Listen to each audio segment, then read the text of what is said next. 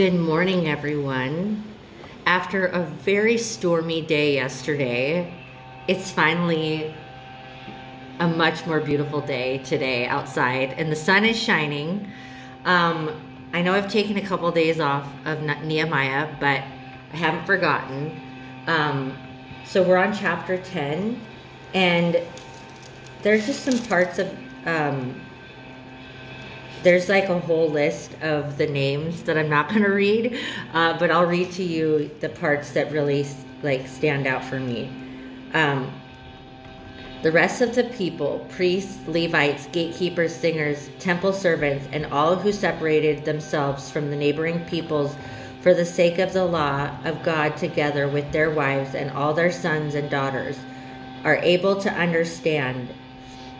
All these now join their brothers the nobles and bind themselves with a curse and an oath to follow the law of God given through Moses, the servant of God, to obey carefully all the commands, regulations, and decrees of the Lord our God. We promise not to give our daughters in marriage to people around us or to take their daughters for our sons. When the neighboring peoples bring merchandise or grain to sell on the Sabbath, we will not buy from them on the Sabbath or any holy day. Every seventh year, we will forgive, uh, we will forego working the land and will cancel all debts. We assume the responsibility for carrying out the commands to give a third of a shekel each year for the service of the house of our God. Gonna take a sip of coffee. Mm. Bible and coffee in the morning, there is nothing like that for a good day's start. We assume the responsibility for carrying out the commands. Oh, I already read that. That's really important, though. We assume the responsibility. Um, new moon festivals and appointed feasts for the holy offerings, for sin offerings to make atonement for Israel, and for all the duties of the house of our God we, the priests, the Levites, and the people, have cast lots to determine when each of our families is to bring to the house of our God at set times each year a contribution of wood to burn on the altar of the Lord our God, as it is written in the law. We also assume responsibility for bringing to the house of the Lord each year the first fruits of our crops and every fruit tree.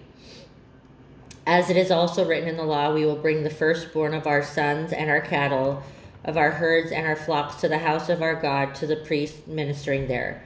Moreover, we will bring to the storerooms of the house of our God to, to the priest the first of our ground meal, of our grain offerings, of the fruit of all our trees, and our new wine and oil, and we will bring a tithe of our crops to the Levites. For it is the Levites who collect the tithes in all the towns where we work. A priest descended from Aaron is to accompany the Levites when they receive the tithes, and the Levites are to bring a tenth of the tithes up to the house of our God, to the storerooms of the treasury. The people of Israel, including the Levites, are to bring their contributions of grain, new wine, and oil to the storerooms, where the articles for the sanctuary are kept and where the ministering priests, the gatekeepers, and the singers stay. We will not neglect the house of our God. So good. Okay, so there are a couple things, two or three things that really stand out to me in this chapter. The first is the the line we assume responsibility. That's said like three or four times in this chapter. And I think if anything if you're rebuilding anything in your life, if you want anything in your life to be blessed, to to go well, to produce fruit, you have to take responsibility. And I think that um, you know, so many of us, it's a normal human thing, it's a fleshly human thing to say, I want the results without the work.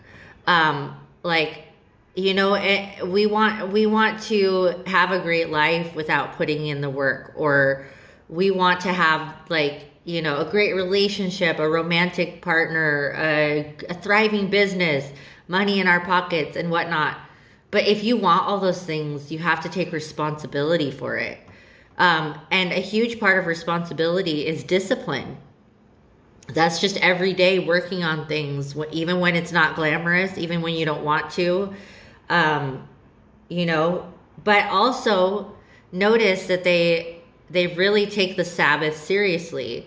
Um, and so that's part of responsibility too, is that you work six days out of the week and then you rest for a day. You take time to enjoy the fruits of your labor. You take time to relax um, and just do something. Do take a day to yourself or to do whatever you want. And to me, that's like that's the best way to keep balance in taking responsibility. The second thing is this concept of first fruits. So um, again, it's part of sorry, it's part of responsibility. I'm getting really passionate here. Um, that like you know if, if we're not really following god then we're gonna take everything for ourselves you know?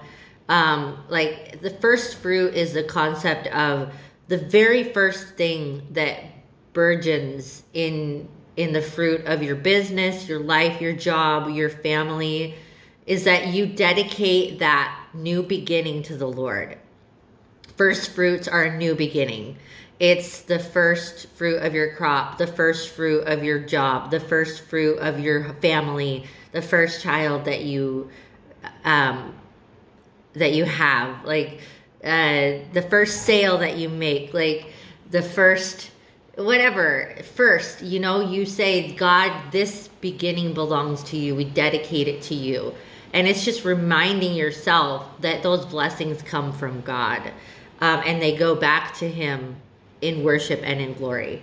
And the third thing is everything about the house of God. Um, you know, it says we will not neglect the house of God. Um, and we assume responsibility to bring to the house of the Lord each year our first fruits.